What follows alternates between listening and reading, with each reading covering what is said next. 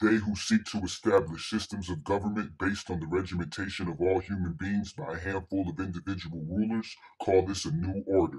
It is not new and it is not order. This is crazy to you if this is foolishness. the preaching of Jesus is foolishness to them that are condemned already.